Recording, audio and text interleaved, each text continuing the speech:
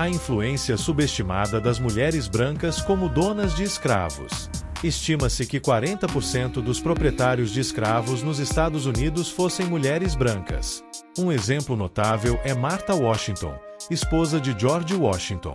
Enquanto George possuía cerca de 18 escravos quando se casaram em 1759, Martha, uma das mulheres mais ricas da Virgínia, trouxe 84 escravos para a União, aumentando significativamente a população escrava de Mount Vernon.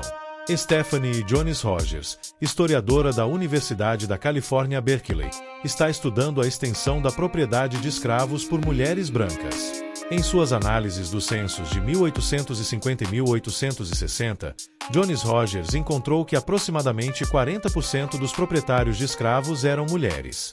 Em seu livro, They Were Her Property, White Women as Slave Owners in the American South, ela destaca como a identidade das mulheres brancas do Sul estava frequentemente ligada à posse de escravos.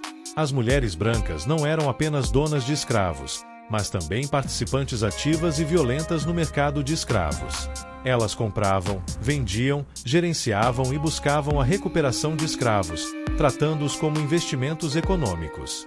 A posse de escravos aumentava o valor dessas mulheres como parceiras de casamento.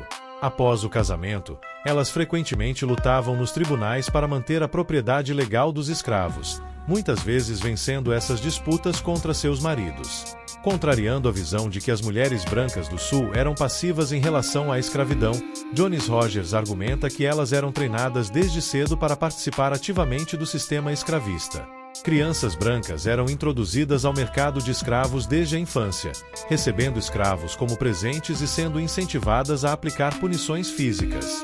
Relatos de ex-escravos coletados pela Works Progress Administration, WPA, na década de 1930 mostram que o treinamento das crianças brancas incluía bater nos escravos. As mulheres brancas também separavam mães negras de seus bebês para que as mulheres negras pudessem amamentar os filhos das senhoras brancas, criando o mercado para amas de leite. As senhoras brancas, por vezes, orquestravam a agressão sexual contra mulheres escravizadas para sincronizar os nascimentos com seus próprios, garantindo um suprimento contínuo de amas de leite. Houve casos em que essas senhoras sancionavam ou até promoviam atos de violência sexual com o objetivo de gerar mais escravos. Durante a Guerra Civil, as mulheres brancas lutaram para manter seu poder e riqueza, movendo escravos para longe das tropas da União.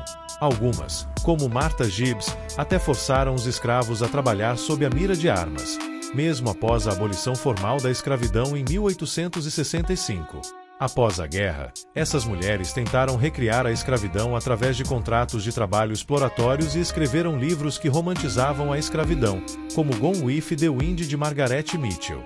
No entanto, Jones Rogers destaca que a defesa da escravidão por essas mulheres não era apenas sentimental, mas também econômica, visando preservar seus interesses financeiros.